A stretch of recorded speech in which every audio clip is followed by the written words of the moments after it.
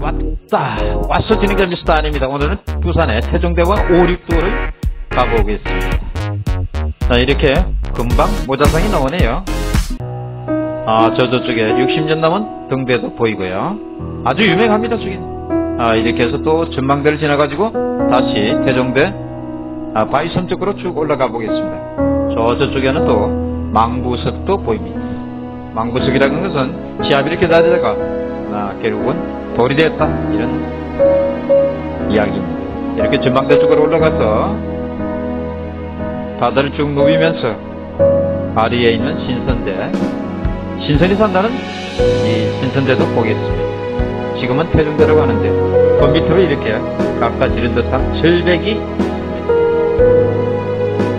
정말 아름답죠. 한 번도 가보지 않으신 분 반드시 한번 일생에 가보시기를 권하고 싶습니다 한 번은 가봐야 됩니다. 뭐 두 번은 가셔도 되지만은 반드시 한 번 이상은 가보는 것이 후회 없는 인생이다. 이런 생각이 듭니다.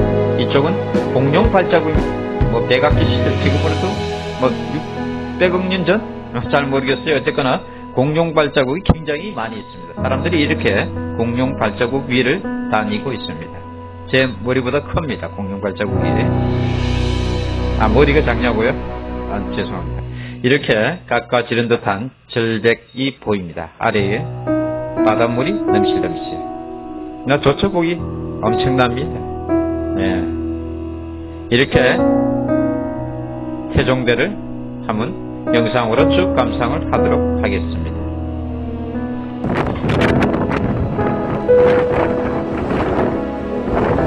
저 저쪽에 등대가 보이죠 예, 저 60년 넘었대요. 그리고 여기 세종대 전망대 쳐다보면은 날씨가 맑은 날은 아, 일본 서지마섬이 쭉 보인다고 그러죠?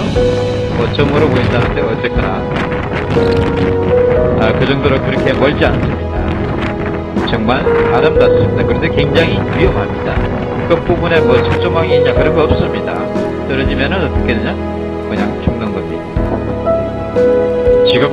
아, 여러분들은 신선대에 있는 세종대, 세종대를 보고 있습니다. 신선대 바위입니다. 있어요. 아, 망부석도 보이고요. 지나다니는 사람들도 많이 보입니다. 사실 사람들이 보이기 때문에 이렇게 영상으로 촬영하기 조금 애매합니다. 바로 오륙도로 자리를 이동해서 오륙도는 걸어서 구경할 수 있는 곳입니다. 마찬가지로 굉장히 아름답습니다. 자, 연이 만들어 온 인간에게 준 선물 중에 이런 최고의 천사들이 예, 보낼 수 있는 것이 아닌가 하는 생각을 합니다. 오륙도는 섬이 다섯 개에 여섯 개에 왔다 갔다 헷갈린다 이런 뜻으로 어, 이름이 붙어졌다. 아 그렇게 저는 알고 있습니다. 보시겠습니다. 오륙도에는 먹거리도 많지만 먹거리가 굉장히 많습니다. 아 돈 주고 다 사 먹으면 됩니다. 아 그리고 걸어서 댕기면 됩니다. 바다 구경도 저 신발 신고 밑으로 하실 수가 있고 스카이워크가 이렇게 있습니다. 쭉 사, 올라가서 전망대를 쳐다보면서 왔다 갔다 하는 오륙도를 섬을 보실 수 있습니다. 출간 보시겠습니다. 이렇게 끝까지 해종대와 오륙도를 감상해 주셔서 고맙습니다. 구독과 좋아요 부탁드립니다.